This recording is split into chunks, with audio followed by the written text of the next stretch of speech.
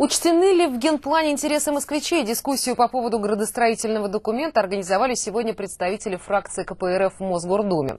Публичные слушания по генплану состоялись в августе. Были поданы десятки тысяч замечаний. Но многие считают, что мнение горожан так и не было услышано, рассказывает Григорий Вдовин. Щелковское шоссе «Утро». Жители обсуждают судьбу своего микрорайона. В руках выдержки из проекта Генплана развития Москвы. В его обсуждении они активно участвовали, но получается, что без толку. Башни вместо 22-этажных будут 30-этажными. Снесут не пятиэтажки, а девятиэтажки. Детские сады останутся на своих местах, но уменьшатся в территории. Ну, я не поняла, где учет наших мнений с точностью да наоборот.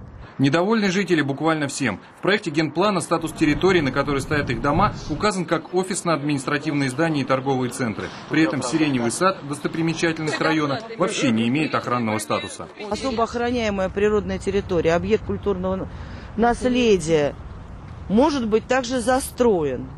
Вот э, это умышленная ошибка или это случайная недоработка проектировщиков, которые не заметили этот объект на ряде карт?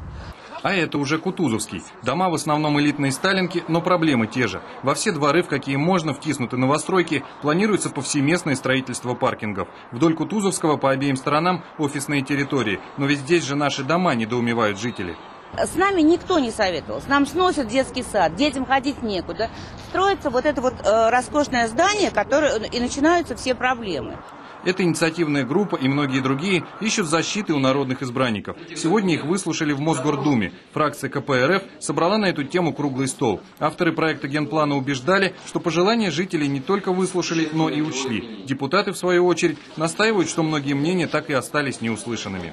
Мы решили провести круглый стол для того, чтобы э, выявить те основные проблемные моменты, которые возникли при обсуждении генерального плана, правил застройки землепользования, для того, чтобы до момента рассмотрения этих документов на заседании Московской городской думы а, мотивированно а, либо возражать, либо поддерживать. Между тем, мэром проект генплана подписан. На днях он поступил на рассмотрение в столичный парламент. Если в законопроекты будут вноситься какие-то изменения, то времени для этого остается крайне мало. Если генплан не примут в этом году, то в следующем, 2010-м, все московские стройки фактически окажутся вне правового поля. Если исходить из того, что допустить этого нельзя, получается, что на все три чтения остается не больше месяца.